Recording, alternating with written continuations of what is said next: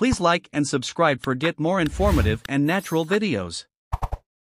क्या आप जानते हैं कि इस गोरे को तुर्की जलजले का पहले से कैसे पता था अगर नहीं तो हम आपको मुकम्मल तफसील से आगाह करते हैं इसी वीडियो में तो वीडियो एंड तक लाजमी देखिएगा, और साथ ही आपको इन्फॉर्मेशन से आगाह भी करेंगे कि इसी माकुन ममालिक में ऐसा ही जलजला आने का खतरा है फ्रैंक एक रिसर्चर है इसका ताल्लुक जलजलों की पैमाइश और ज़मीन के अंदर मौजूद एनर्जी मापने के इदारे S S G E O S से है।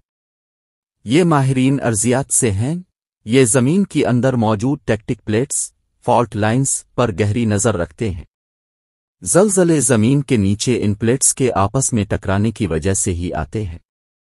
जब प्लेट्स बहुत ही करीब पहुँच जाती हैं, जहाँ इनके टकराने का यकीनी इम्कान ज़ाहिर हो तो ये लोग पेशगोई कर देते हैं कि फलां ममालिक के नीचे मौजूद फॉल्ट लाइन टकराने वाली है। लहजा फलां फलां ममालिक में जलजला आ सकता है।